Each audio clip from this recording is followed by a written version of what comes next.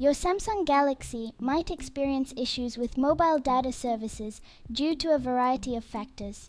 These could include software glitches, outdated system software, or problems with your service provider. If you're facing this issue, here are the steps you can take to resolve it.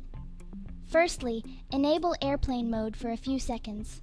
This simple action of toggling airplane mode on and off can often resolve connectivity issues. It effectively resets your phone's network functionalities. To do this, swipe down from the top of your screen to open the notification panel.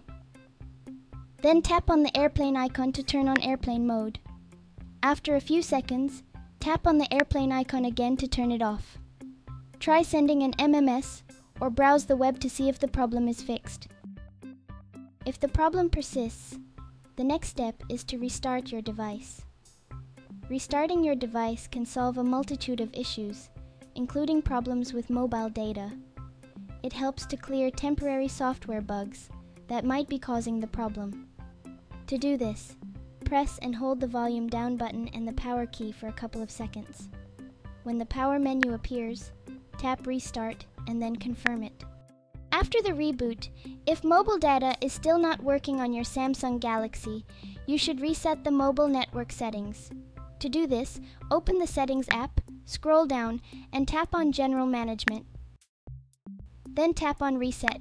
Select Reset Mobile Network Settings, and then tap Reset Settings to proceed. These methods should be enough to get your mobile data working again. However, if the problem persists, you should contact your service provider as it could be an account or network problem. I hope this guide can help you. Thank you for watching.